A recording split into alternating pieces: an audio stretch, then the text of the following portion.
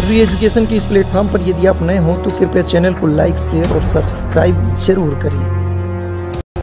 नमस्कार दोस्तों री एजुकेशन अकेडमी में आप सभी लोगों का स्वागत है और आज के इस सत्र में हम लोग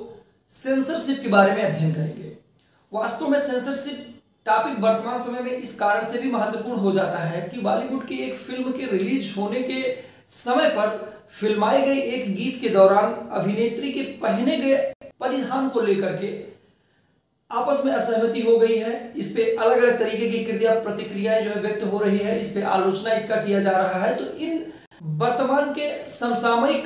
घटनाक्रम के पृष्ठभूमि में हम लोग थोड़ा सा सेंसरशिप को समझने का प्रयास करेंगे और ये देखेंगे कि सेंसरशिप का क्रियान्वयन किन एजेंसीज के माध्यम से होता है। और इसके बाद ये देखेंगे कि ये जो एजेंसियाँ हैं, वो किस हद तक सेंसरशिप के भावना को क्रियान्वित करने में सफल होती हैं। क्या वास्तव में ये एजेंसियाँ पर्याप्त रूप से अपना कार्य कर रही हैं या नहीं, इसमें क्या सुधार होने चाहिए और निष्कर्ष? क्योंकि जब भी कोई टॉपिक या कोई घटनाक्रम होता है तो उससे संबंधित जो संस्थागत व्यवस्थाएँ होती हैं वह हमेशा से चर्चा का विषय बनती हैं और उससे संबंधित सवाल भी परीक्षा में पूछा जाता है। तो हम यहाँ पर इस बात का ज़िक्र करना उचित नहीं समझते हैं कि इस परिधान को लेकर के जो परिचर्चा, आलोचना आरोप प्रत्यारोप हो रहे हैं वे कहाँ तक उचित हैं, कहाँ तक अनुचित हैं, इस विषय पर हम चर्चा नहीं करने वाले हैं। हम केवल ये देखेंगे कि जो भी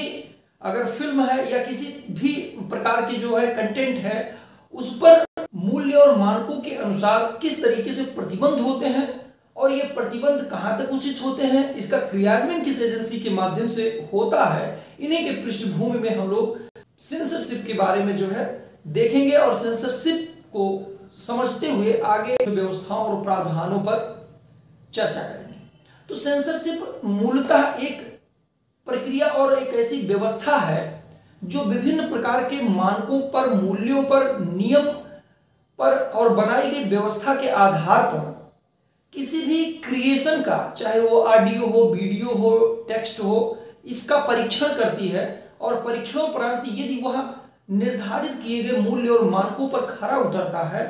तो उसे सर्टिफाइड करती हैं। यानी कि उस पर प्रमाणित करती हैं, उसको प्रमाण पत्र देती हैं, जिससे वो सामाजिक क्षेत्र में या जो सोशल डोमेन में पहुँचने के योग्य हो जाता है। यह कुछ प्रक्रिया फ़िल्मों के क्षेत्र में भी अपनाई जाती है और फ़िल्मों के क्षेत्र में अपनाने के लिए जो एक संस्थागत व्यवस्था बनाई गई है वह सिनेमेटोग्राफी एक्ट उन्नीस सौ बावन के अंतर्गत स्थापित किया गया है, जिसे वर्तमान समय में सीबीएफसी यानी कि central board of film certification कहा जाता है, जिसे पहले जो है सर्टिफिकेशन के स्थान पर सेंसर शब्द का प्रयोग किया जाता था। उन्नीस ईस्वी तक स्थापित होने के बाद यह केंद्रीय फ़िल्म सेंसर बोर्ड कहलाता था। आज की डेट में इसे केंद्रीय फ़िल्म प्रमाणन बोर्ड कहा जाता है। हालाँकि अभी भी व्यवहारिक स्तर पर इसे सेंसर बोर्ड से पास होना ही बताया जाता है। और दूसरी महत्वपूर्ण जो एजेंसी है, वो है भारतीय प्रेस परिषद। इसकी स्थापना भारतीय प्रेस परिषद अधिनियम उन्नीस सौ अठहत्तर के अंतर्गत किया गया है। इसके अलावा आप देखेंगे आईपीसी और सीआरपीसी की भी धाराएँ हैं। इसके साथ साथ केबल टेलीविज़न नेटवर्क होते हैं। जिसके माध्यम से भी बहुत चीज़ों को ब्रॉडकास्ट किया जाता है लोकल एरिया में लोगों को जो देखने के लिए तो उसके भी फ़िल्टर करने की अपनी व्यवस्थाएँ होती है, जिससे कंटेंट जो है मूल्य और मानकों के आधार पर ही लोगों तक पहुँच सके। तो ये कुल मिलाकर के कुछ एजेंसियाँ हैं जो सेंसर के रूप में काम करती हैं। कहने का तात्पर्य विभिन्न प्रकार के कंटेंट को देखती हैं, उसका परीक्षण करती हैं, जाँच करती हैं। जब वो मूल्य और मानकों पर खरा उतरता है, तब उसे जो है सोशल डोमेन में जाने की अनुमति होती है। रही बात फ़िल्म के संदर्भ का तो फ़िल्मों के लिए जो है सीबीएफसी वर्तमान समय में कार्य कर रहा है, जिसकी स्थापना सिनेमेटोग्राफी एक्ट उन्नीस के अंतर्गत स्थापित किया गया था, जिसे उन्नीस ईस्वी तक केंद्रीय फ़िल्म सेंसर बोर्ड के नाम से जाना जाता था, और जिसे बाद में जो है तिरासी के सीबीएफसी यानी कि central board of film certification कर दिया गया है। दूसरी तरफ़, उन्नीस सौ अठहत्तर के एक्ट के अंतर्गत जो है भारतीय प्रेस परिषद की स्थापना की गई है, और यह देखता है कि जो मीडिया के कंटेंट है न्यूज़ के कंटेंट है, उसकी जाँच परख करता है और इसके बाद जो है वो विज्ञापनों की भी जाँच करता है, जिससे वह कंटेंट उसके थ्रू सामाजिक क्षेत्र में जाती है। आईपीसी और सीआरपीसी की भी अलग अलग अपनी जो धारा है सीआरपीसी विशिष्ट धारा के अंतर्गत जो है, इस बात के प्रावधान किए गए हैं कि तो कोई भी कंटेंट ऐसा है जिससे राष्ट्र की एकता, अखंडता, राज्य की सुरक्षा, शांति, व्यवस्था प्रभावित होती है तो ऐसे मुद्रणालय के विरुद्ध जो है वारंट जारी किया जा सकता है, उसके सामग्रियों को जब्त किया जा सकता है उस पर प्रतिबंध लगाया जा सकता है, इत्यादि की कार्रवाई विभागीय स्तर पर पुलिस इत्यादि के द्वारा की जाती है। इसके अलावा केबल टीवी नेटवर्क होते हैं, जो विभिन्न प्रकार के बने हुए कंटेंट को देखते हैं, परीक्षण करते हैं, उसके फ़िल्टर करने का भी काम उसके स्तर पर किया जाता है, ताकि सोशली ऐसे कंटेंट न पहुँच पाए, जो आयु के अनुसार या सामाजिक मूल्य और नैतिकता के अनुसार विरुद्ध हो। तो ये सारे एजेंसियाँ हैं जो अलग अलग प्रकार की क्रिएशन कंटेंट फ़िल्म डॉक्यूमेंट्री इत्यादि का परीक्षण करते हैं, जिससे वे कंटेंट अपने सही स्वरूप में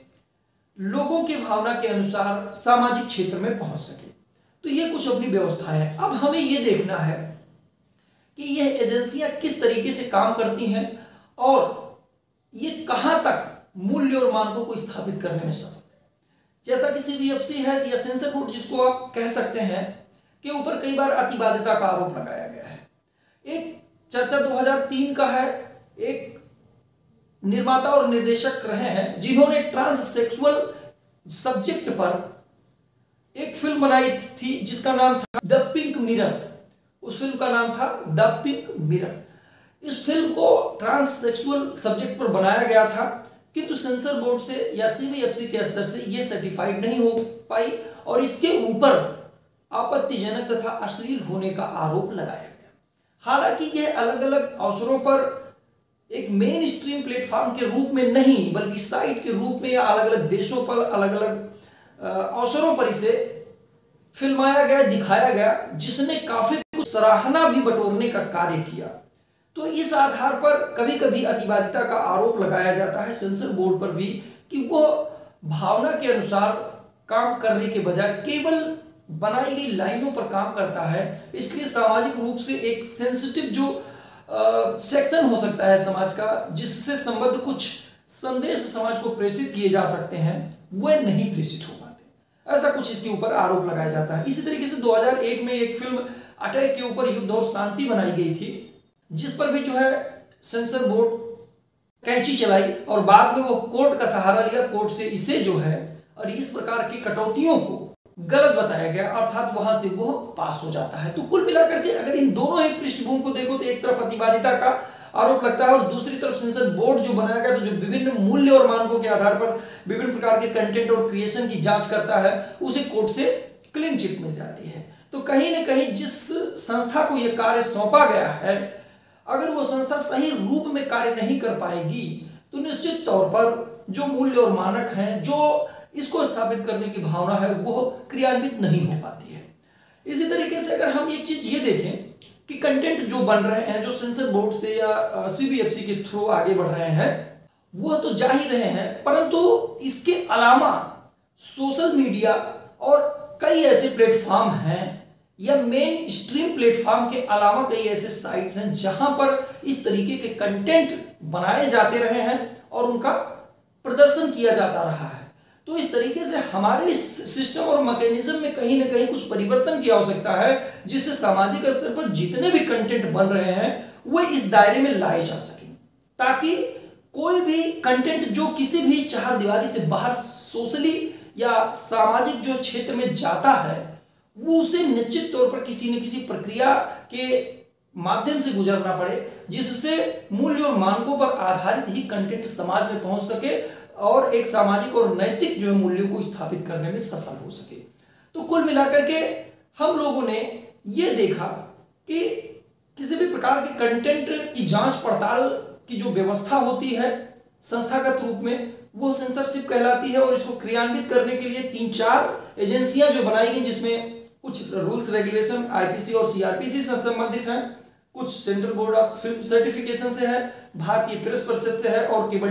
टीवी नेटवर्क से रिलेटेड है। ये अलग अलग प्रकार के कंटेंट की जाँच पड़ताल करके सोशली इसको समाज में पहुँचने के लिए प्रमाणित करती हैं। फिर भी सीबीएफसी जो कि फ़िल्म और डॉक्यूमेंट्री इत्यादि से संबंधित है, उसके प्रदर्शन से पूर्व जाँच पड़ताल की प्रक्रिया को अपनाता है। लेकिन उस पर भी विभिन्न आधारों पर जैसा आपने देखा कि कई बार आरोप लगाए जाते रहे हैं और उससे हट करके उस पर या उस तरीके के कंटेंट को मेन स्ट्रीम प्लेटफॉर्म से अलावा अलग अलग ऐप पर अलग अलग साइट्स पर चलाए जाते रहे हैं तो कहीं ना कहीं हमारे इस सिस्टम और मैकेनिज्म में संशोधन करना होगा, इसको व्यापक बनाने का जो प्रयास करना होगा, जिससे इस तरीके के कंटेंट समाज में एक निश्चित मानक के आधार पर ही पहुँच सके। इसमें सरकार को एक कमेटी बनानी चाहिए जिससे वो ऐसे सभी कंटेंट जो समाज में आ रहे हैं या आ सकते हैं, उसका चिन्हांकन करे, उसकी लिस्टिंग करे उससे संबंधित एक एजेंसी का जो है निर्माण हो, एक एजेंसी जो है फॉर्म की जाए, जो इन सभी चीज़ों का मूल्यांकन और परीक्षण करे जिससे कंटेंट सही तरीके से पहुँच सके। हालाँकि इसके संदर्भ में आईटी एक्ट 2000 बनाया गया है। जिसमें 2021 में संशोधन भी किया गया है, जिसे ज़्यादातर या समकालीन रूप में या नए नए जो तरीके आ रहे हैं, उनको इन दायरों में लाया जा रहा है। तो जो भी सरकार के स्तर पर प्रयास किए जा रहे हैं, उसको और भी संस्थागत रूप में और भी प्रभावी बनाने की आवश्यकता है, ताकि किसी भी प्रकार से ऐसे कंटेंट समाज में ना पहुँच सके, और जो सीबीएफसी या अलग अलग एजेंसियाँ सेंसरशिप के लिए बनाई गई हैं वह अपनी भावना और समाज में उन मूल्यों को पहुँचा सकें, जिससे कि एक स्वस्थ समाज का निर्माण हो सके। तो कहीं ना कहीं हमें यह देखना होगा कि जब हमारे देश में एजेंसियाँ बनाई गई हैं तो कोई कंटेंट का परीक्षण करे और परीक्षण उपरांत ही समाज में जाए और लोगों को इस तरीके के प्रक्रिया पर जो है कॉपरेट करना चाहिए, ताकि समाज में शांति व्यवस्था बनी रहे, भाईचारे की भावना स्थापित हो सके, मूल्य और मानकों तथा नैतिकता पर आधारित समाज का निर्माण किया जाना संभव हो सके। तो उम्मीद करते हैं कि ये संक्षिप्त सेशन आप लोगों को अच्छा लगा होगा। पुनः अगले लेक्चर में कुछ नई जानकारी के साथ, कुछ नए टॉपिक के साथ मिलेंगे, तब तक के लिए नमस्कार।